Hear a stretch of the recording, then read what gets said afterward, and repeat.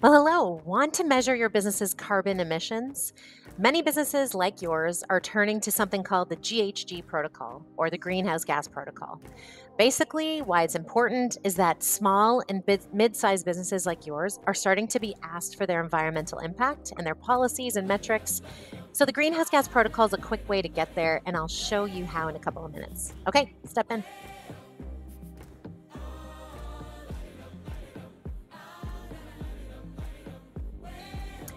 So let's think about your business though. You're super strapped for time and money. Your people are busy. So why would you even do the greenhouse gas protocol on your business?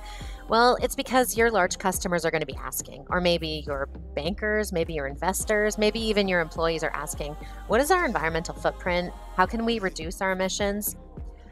While we could get into tracking the impact of your company's waste and water usage, this video is all about emissions. So, when you think emissions, most people think of these cloudy things above me, and that is the direct emissions that your company creates, throws into the atmosphere. Oftentimes it's carbon dioxide, but not always.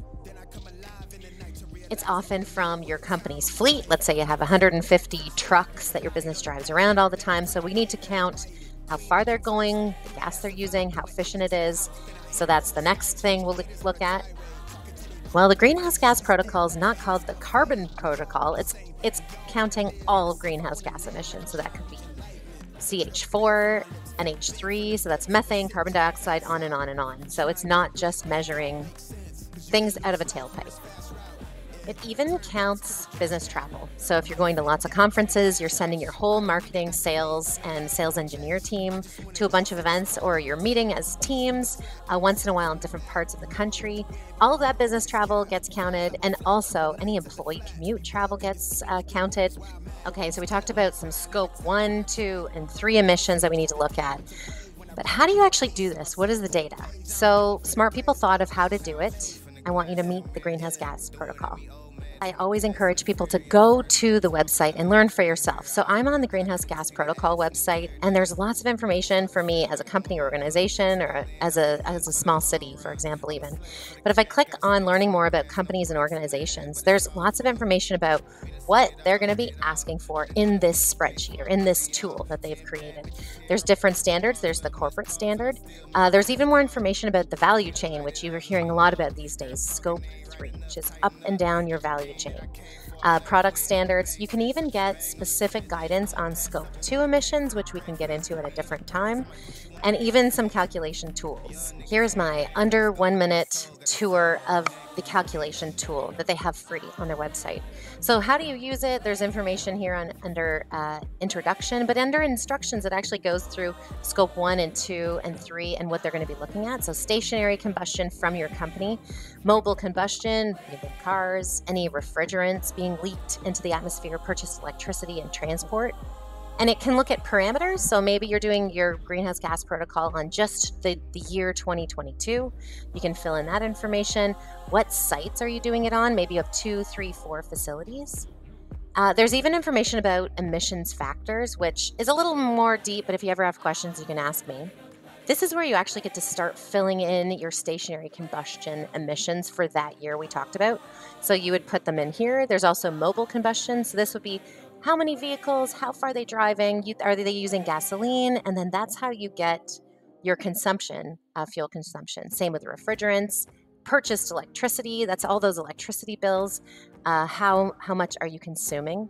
And there's even transport as well. And once you fill it all in, you get a results summary, which is super helpful when you want to share it with, let's say, large customers or with partners or employees or even just with other stakeholders.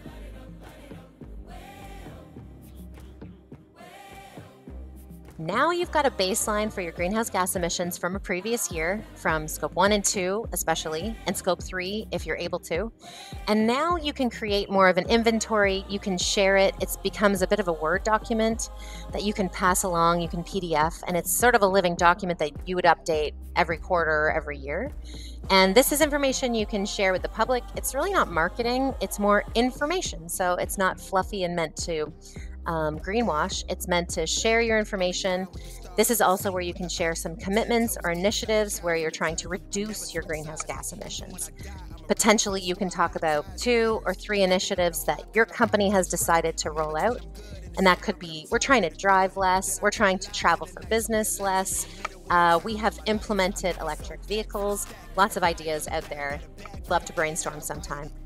So, here are those six steps again. Number one is gather your data, scope one, two, three, if you're able to. Source data is best. Two is do the emissions inventory, right? You're going to need a couple people, maybe a green committee. Number three is use those tools. Number four is set reduction targets. Number five is activate measures to do those things. And number six is the fun part tell the world. Again, not greenwashy, not marketingy, but informational, right? This is where we are, this is where we're going. Your large customers are asking if they haven't already, they're going to start. They're saying things like, hey, company, we need to know your environmental policies. We need your greenhouse gas emissions by next April, for example. Or maybe your employees are asking, or your bank is asking if you have an ESG or sustainability policy. Sometimes during an M&A, your investors or the company that could buy you is, are asking. Other stakeholders will ask too, maybe even regulatory bodies or the government. So, reducing your company's greenhouse gas emissions isn't just good for the planet, although it definitely is, but it's also good for your business's bottom line. That's what I talk about every week. So, if you're interested, subscribe to my YouTube channel or check me out on LinkedIn, and you can see my weekly tips for businesses just like yours.